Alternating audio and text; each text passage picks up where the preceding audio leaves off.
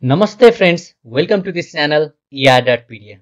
Friends, if you are not familiar with VBA applications or coding, there is no need to be worried about it because in this video we will learn to make a simple user form without any coding. We use built-in data entry form. Like this. This is our data entry form. When you have a huge data, it requires a repeated horizontal scrolling. It consumes time to source the data. To avoid this problem, we can use this data entry form. We can add our data, we even edit our data, find out that data and delete our data. Excel has many useful features when it comes to data entry. And one such feature is this data entry form. It provides a convenient means to enter or display our complete row of information in a table without scrolling horizontally.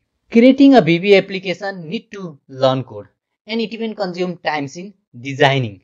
So using this built-in feature helps to save our time and we don't even need to learn the code. But it has certain limitation. It has only the field of text boxes. Here you can see only text boxes there is no combo boxes, no radio button or no checkbox. The maximum number of input boxes that can use in this data entry is 32. It means if you have more than 32 column, this one is the column or header. If there are more than 32 columns, then it will only pick the 32 columns and rest will be discarded. And uh, one more thing is the form does not have inbuilt validation. We can't apply validation to the text boxes. This is the general information about built-in data form. Now let's learn to create the form. I add this new sheet. First create the column heading. Yes, I'll keep the student ID. Student ID name class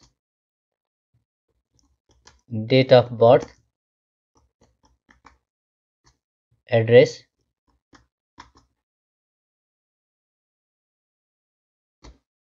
and fee. This is our heading. Yes now adjust this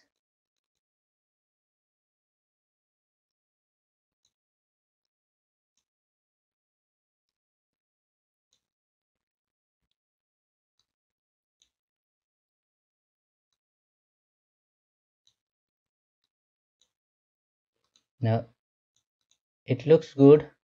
Give a border. Now I'll say all border um, and even text alignment. Give color to the heading.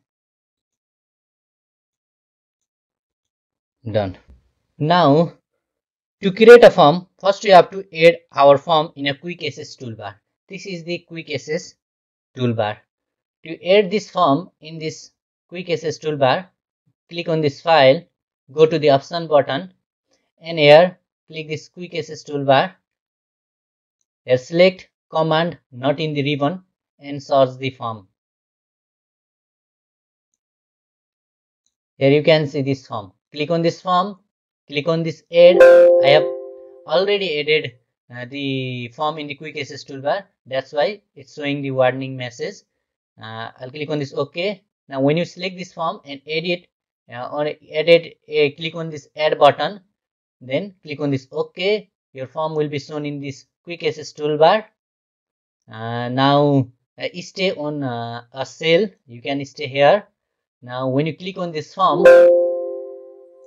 your form will be displayed here.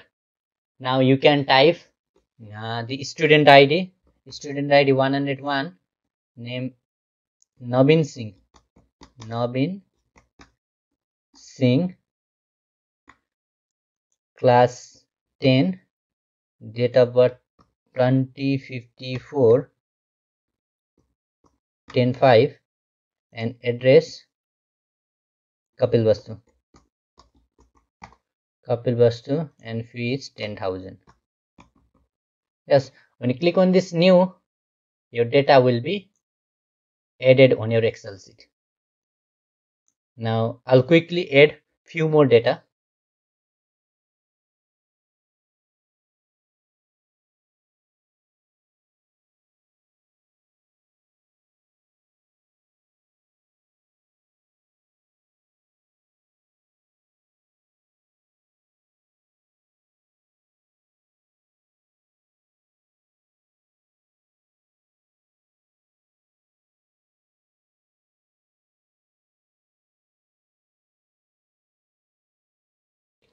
I have added this data.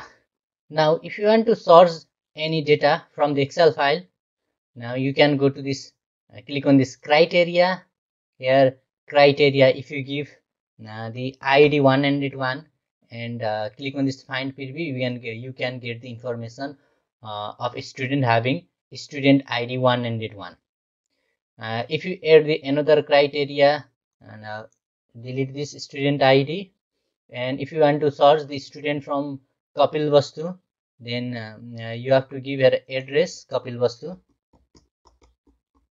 All the student having address Kapil Vastu will be generated. Click on this. Uh, find peer view. You can get the student having ID 101 is address Kapil Vastu. Uh, find next and 104 address Kapil Vastu. This how you can Search your data from the Excel sheet using the simple built-in Excel uh, built-in form. Now I will close this form and uh, the width of this or length of this text box is automatically adjusted based on the maximum column width. Here you can see the column width is this one. If I increase the width of a column, I like to increase this width. Now you can see your text box width has been increased or length has text box this length has been increased. And uh, the text box height is same as that of cell. It is normal. Yes you can increase this uh, text box uh, width or length by increasing the cell width or length. Yes. Even you can delete your data from the uh, user form. Click on this user form now it's 101 if you click on this next it will show 102 103 104 if you want to delete this data then you can click on this delete button. Click on this okay your data will be deleted. This is the short and quick information about built-in form. I hope you enjoy this video. See you in the next video. Till then bye bye take care. Thank you